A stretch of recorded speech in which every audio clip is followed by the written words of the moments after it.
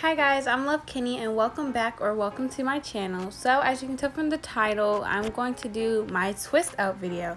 So right now I'm starting on my hair. I just washed it. I did a shampoo and a conditioner and I'm going to go ahead and start and then come back. So in order to complete this style, I did break my hair up into three sections. I did the back section as one big section and then the top two as two separate sections. So this section that you see with my hair left out is my final section. So my main product was my Shea Moisture. I actually only used two products, which was Shea Moisture and oil. So this whole style was done with Shea Moisture. As you can see, I apply the Shea Moisture all over my hair and then I get my oil, the little bit I have left, and I put it on my scalp.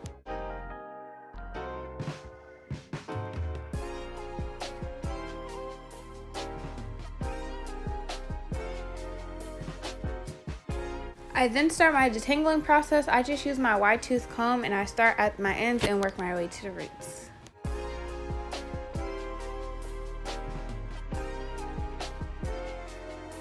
Now I just section my hair. Because the style is a twist out, I do not have to be perfect, so my parts are a little bit crooked sometimes. But this will now start my next froze for my twist.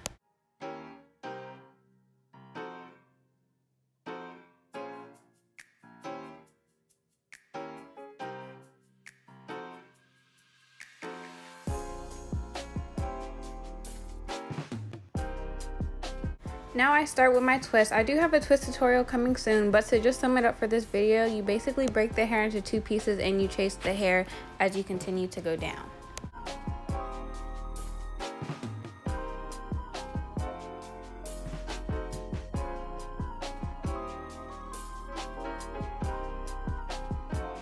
At the end of most twists, I do add some more Shea Moisture. It kind of acts as a gel and it also reduces frizzing on the ends for when I take it out.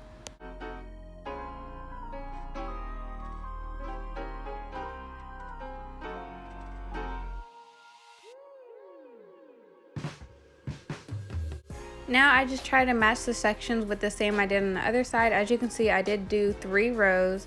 So I'm going to come back when I'm on my last twist so I can show you my process one more time.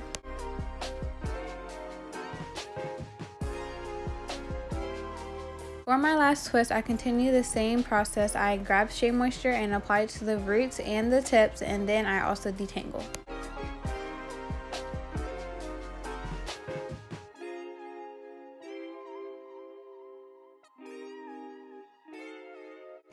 I then break the section into two parts and then I start my chase method which just follows the two strands of hair and then it follows each other all the way down.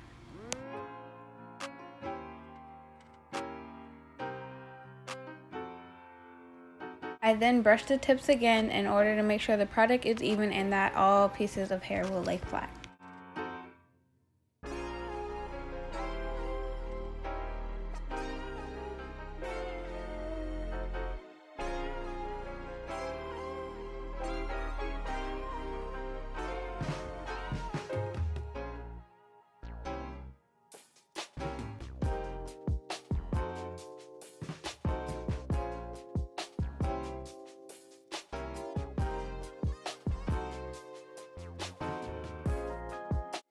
My hang time.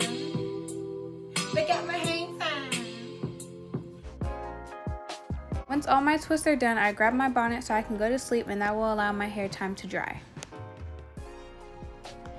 Hi guys, it is the next day. Now I just grab my oil and I put it in my hands. This is just a random oil I had in the house. Um, I used it for a hot oil treatment a while ago.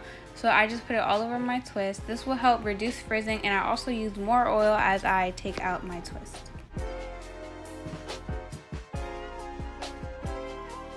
Now I just put my hair up into a ponytail. It just makes sure that I don't miss any of my twists when I take it out.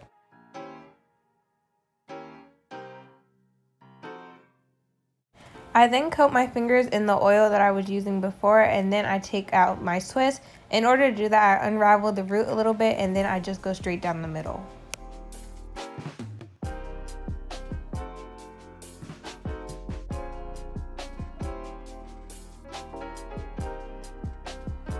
Greatest of all time. Fall in line. I do not play about mine.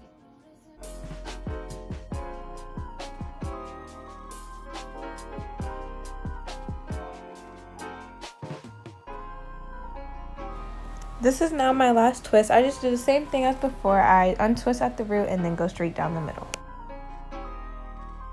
Now I decided that I wanted my twist out to be bigger, so I ended up splitting most of my twists and I'll show the process that I do along that. I normally just distress it a little bit, but I don't do this along the way because sometimes I just decide to leave it how it is after I take it out. As you can see, in order to divide it, I just go down the middle again or I stretch it out a little bit and then that is how I would separate it after I separated the first time. Now I am starting to like the look way more, so I'm just distressing my final pieces.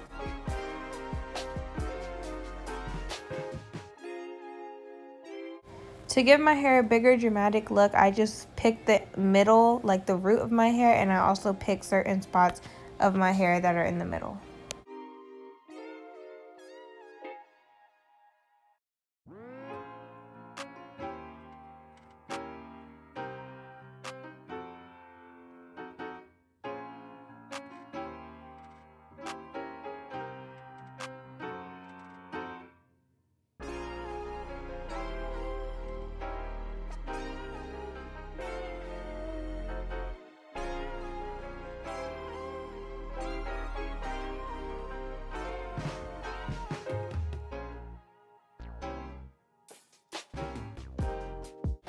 I finally got my hair to pretty much where I wanted it, so this is just me fluffing it out a little bit more and playing with it again.